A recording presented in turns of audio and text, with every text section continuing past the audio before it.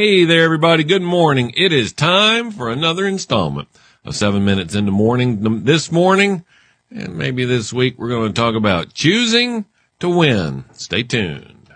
This is 7 Minutes in the Morning, where five days a week you get tips and hacks dedicated to helping business owners and leaders just like you find and break through the one thing that is preventing your success.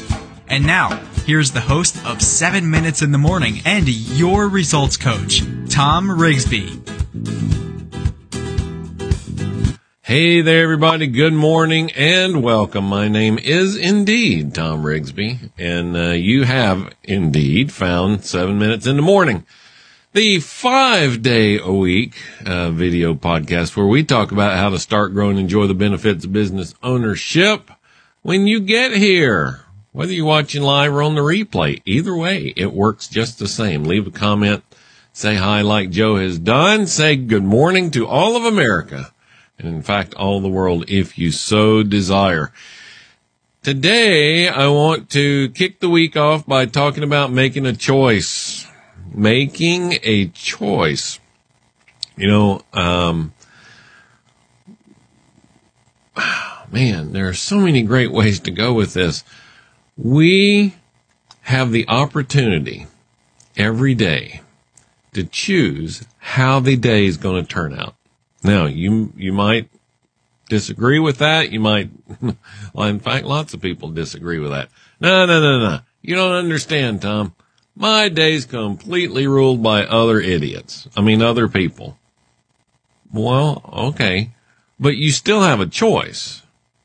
You can, for example, be frustrated with them even though you knew that's what was going to happen. You can choose to be frustrated by them or you can be entertained by them. Right? It's a choice. And so the, the, the, the thing I want you to think about today, right? Our title today is choosing to win. And, you know, it's Monday. I specifically chose this topic for today because a lot of people hit Mondays and like, oh, it's Monday. I don't like Mondays. Well, if you tell yourself you don't like Monday, of course you're not going to like Monday. You got to love Mondays. Mondays are when the magic happens, right? But it's a choice. You just have to choose. How do you, I mean, how do you want to feel today? Do you want to feel like crap today? Do you want to feel like a winner today? Choose to win. That's the topic. Man, I might not even go three minutes today. I've really pounded that home already. I'll just get a sip of coffee and see if we can drag it out here for another minute. So, um, over on Instagram today, I'm going to be talking about uh, this very thing, how you can make a choice. now, what happens when you feel like you're out of control? And this, th- look, this is really why choice is important because choice, how you choose to respond to a set of circumstances is in your control. And if you feel like your life, your business, your work is out of control, it's because you don't have any choices.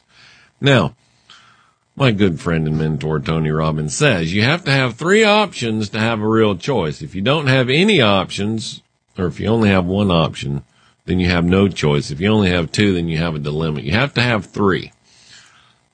I could probably go with two or three in most circumstances, but there's always a choice.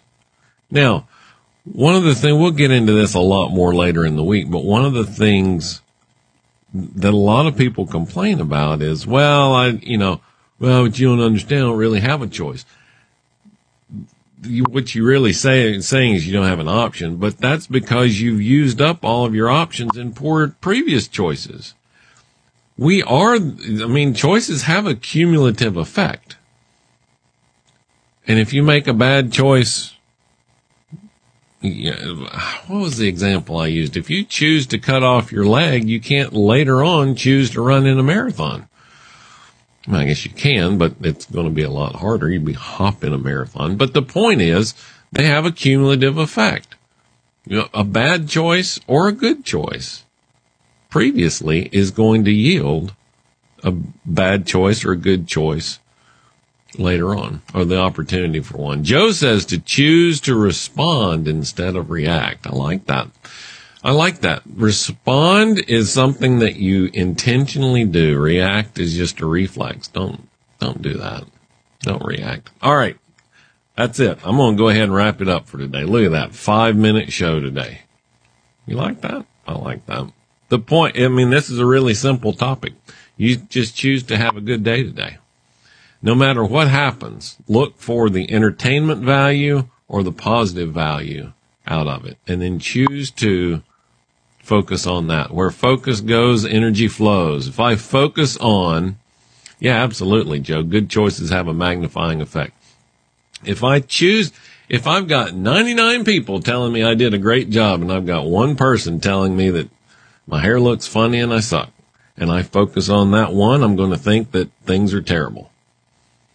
But if I focus on the other 99, even if it's opposite, right? If I have one person saying I do great, 99 saying you suck, if you focus on the one, that's where your, that's where your energy is going to go. Eh, forget those people. I don't know what they're talking about. Right? Choose, choose to have a good day today and then choose to be back here again tomorrow for another installment of seven minutes in the morning to happen every morning, every weekday morning, 7 a.m with me, Thom Rigsby, your host. Hope that you will choose to join me tomorrow. You guys have a magnificent Monday. I will talk to you today or today, tomorrow. Take care.